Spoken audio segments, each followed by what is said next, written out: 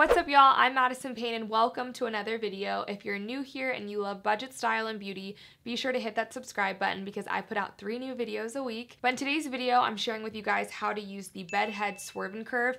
I wore my hair using this product in my last Ulta haul and you guys told me y'all wanted to see it. So ask and you shall receive. I know this is available at other retailers as well, so I'm gonna link all of them that I can find below because I know some people are Amazon people, some people are Ulta people, some people are Target people. So I will link everything below as well as all the products that I use use. And I just love this hairstyle. You get a lot of volume. And I only have to style it one time and it does last days on my hair which never happens. So I know you guys are gonna love that part of it too. And let's go ahead and get started. Okay so a couple of things before we get started. You're probably gonna want to use some sort of heat protectant in your hair just because this bad boy does heat up quite a bit. It gets really hot.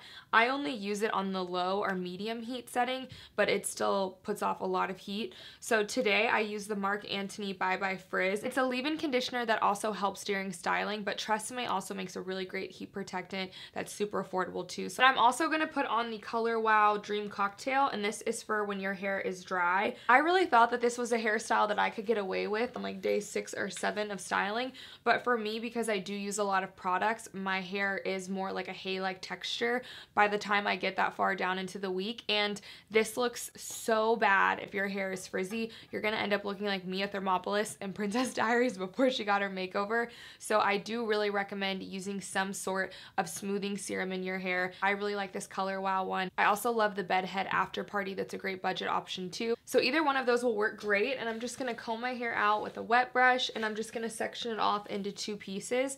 For me, I do this as more of a messy look, so I am not particular about this or my sections at all. So when it comes to the bottom of my hair, I'm also not that picky about it because the top layer is going to cover most of this up. So you're going to see me do a little bit larger of sections. So on the bottom, I do like to get the crimper close to my head just because it does build up a little bit more volume. The more defined that you want the crimp, the harder I would push this down as well as the longer I would hold it. If you just want it to be a slight wave, I wouldn't hold it down that hard or that long, but I do kind of want mine to be a little bit more defined. And as far as spacing goes, I just kind of eyeball it to see where I think the next piece should go.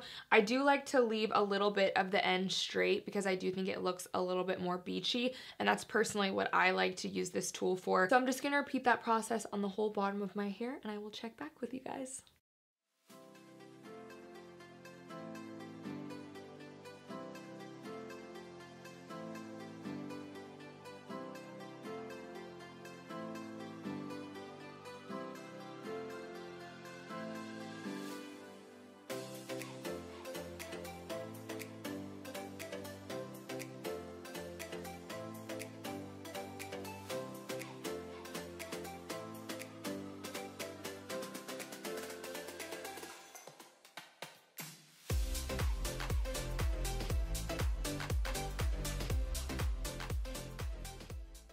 A few moments later. Okay, so I'm already done. The bottom only took like five minutes. This is a super quick hairstyle, and I'm gonna go in with the Color Wow Cult Favorite Hairspray. I also really like the Tresemme Purple Bottle Hairspray.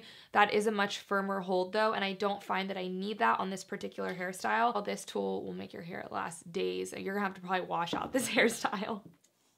I'm gonna go ahead and do the top section. So I normally do my hair in a middle part, but I find that this hairstyle really needs a lot of volume to look pretty. So I'm just gonna do my hair to one side and I kind of just flip it throughout the day to make sure that I'm keeping the volume. Again, this is a more messy hairstyle, which is one of the things that I really like about it. So the difference of how I'm curling the top is that I'm doing the top pieces in smaller sections just to really make it look extra mermaidy and beachy. I'm even gonna do smaller sections than this, like just a couple of strands just to really vary it up. Also not starting the crimp until further down on my hair because because I find that if I do it right at the root, although it does give it more volume, I can end up with some really weird curls coming out of the top of my head. So I just avoid that entirely if I start the crimp lower.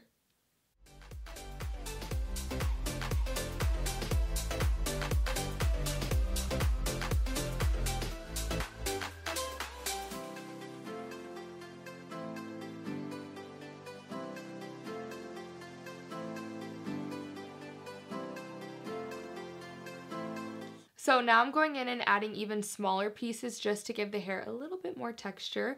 And I kind of just eyeball how many of these smaller pieces that I like.